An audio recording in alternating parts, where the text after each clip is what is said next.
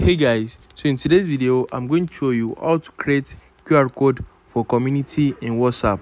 So if you want to generate qr code for your community in whatsapp let me show you how to do that in this video. So the first thing you need to do is open your whatsapp and you need to open the community chat that you want to generate qr code for. After that click on the name and you're going to see the community right here. Or just click on manage community so let me just click on the name and i'm going to head over to the community.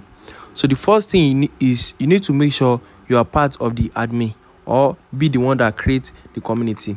So if you are part of the admin or you are the owner of the community you are going to get this invite option right here. So just click on invite and you're going to see the option to create qr code. So just click on qr code and it's going to generate qr code for your community so you can also reset the qr code if you think a lot of people have seen the old one and you don't want them to join through the old one again. So you can just click on this reset and confirm it. So it's going to create a new qr code for your community. If you have any question about this drop it in comment down below and don't forget to like share and subscribe to my channel. Thanks for watching guys